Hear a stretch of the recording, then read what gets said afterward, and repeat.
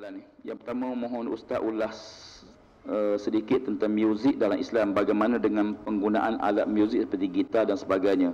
Kan ada kumpulan yang mempertikaikan Ustaz Azhar yang menggunakan gitar dengan mengatakan muzik haram dalam Islam.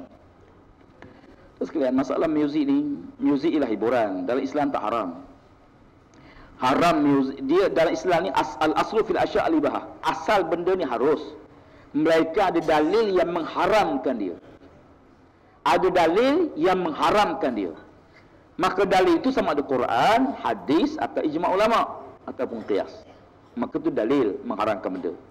Adapun pengharam hiburan ni ha, jadi haram tu bukan sebab hiburan tu.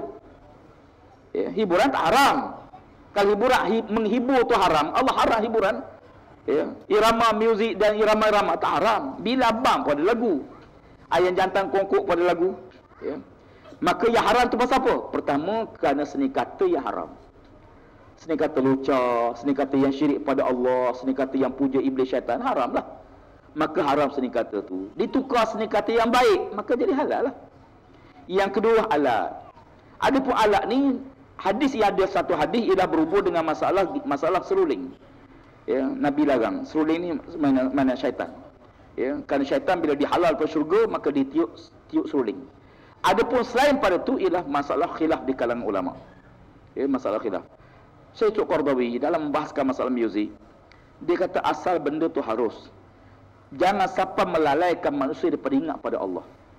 Maka bila muzik digunakan untuk mendekatkan diri pada Allah, maka jadi baik.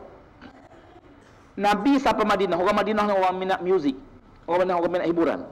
Nabi sampai Nabi disambut dengan dengan nasyid. Orang Melayu panggil nasyid, Arab panggil lagu, serupa je ya. Jadi benda yang sama. Cuma seni kata seni kata memuji Nabi Muhammad. Jadi jadi dapat pahala lah. Sama seni kata lagu. Macam lagu-lagu zaman dulu, lagu turun periuk. Lagu turun periuk ni tak apa tu kan. Tak ngatur orang lalu. Hmm. Menarian, tarian, haram ke halal? Halal. Tak apa. Yang haram tu bila bercampur benda haram. Zaman dulu saya tengok ingat-ingat azab kecil tu. Nari sama lelaki. Tak ada. Laki sama lelaki tahun 70-an ada orang perempuan masuk. Tapi masa tu tarian kita dia dia bukan rapat, dia ngengek ngengek ngengek. Yang laki masuk perempuan undur, perempuan masuk laki undur. Selamatlah. Tak ngat. ha. Adapun gitar dan perbahasan ulama tu akhirnya berubah. Kalau gitar tu kena tali, macam mana kalau gitar hari ni tak ada tali? Halal haram. Seruling. Dulu tiup, hari ni seruling bukan tiup, tekan maka apakah berubah hukum? Maka saya pegang pandangan Soekardawi dan tuan boleh tengoklah lebih detail. Maka selagi mana tidak lara tidak mengharamkan tidak melalaikan dia peringat pada Allah tidak bercampur dengan maksiat maka dia hukumnya harus. Ya.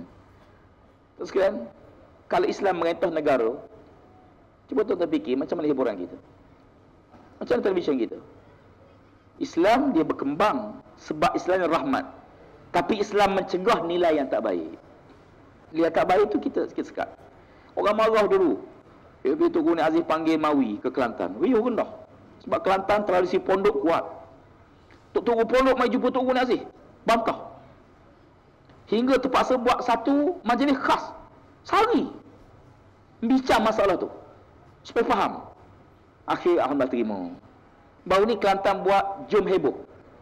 Eh, jom heboh. Kita kalau kita kata tak boleh Orang buat juga jadi bercampur yang haram. Tak boleh macam mana? Ha? Tak boleh begini. Campur laki perempuan tak boleh. Okey, jangan campur. Kita tak asingkan penonton laki-laki sebelah, perempuan sebelah. Atau pentah tak ada wanita yang pakai teruk, wanita pun tak dibenar, laki-laki saja.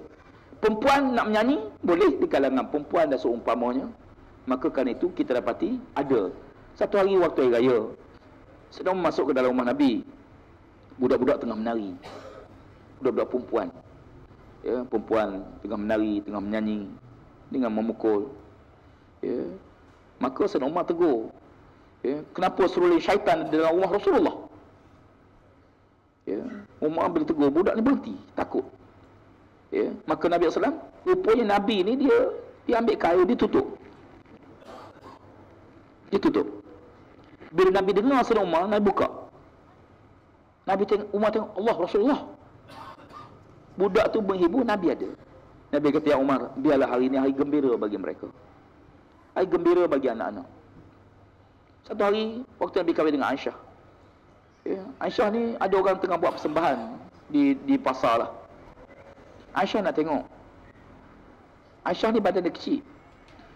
Bila Nabi sampai, Nabi duduk belakang. Orang zaman dulu dia tidak umat macam orang sekarang. Orang sekarang ni tu sekalian nampak pimpin datang, bagi ya. Bagi tempat duduk depan sekali. Nabi duduk belakang. Nabi ni tinggi dia nampak. Aisyah tak nampak.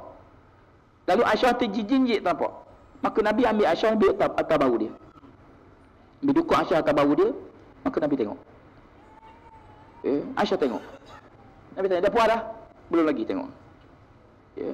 Maka kita dapati beberapa hadis-hadis dibahas oleh para ulama hiburan yang bercanggah ialah perkara-perkara yang qat'i bercanggah yang denas adapun perbahasan ulama tu sentiasa berubah. Pandangannya berhubung dengan masalah kita dan seumpama ialah Ustaz Azhar ni orang alim. Ya bukan orang jahil. Kalau benda tak boleh takkan dia buat. Ya maka pendapat perbuatan orang alim ni sebagai salah satu benda yang dia akan buat kalau benda tu tak bercanggah dengan syarak. Ya benda yang khilaf bila berlaku khilaf maka kita tidak boleh menyalahkan. Walaupun kita kata tak boleh oleh kerana ada ulama kata boleh maka pendapat yang boleh tu juga pendapat yang betul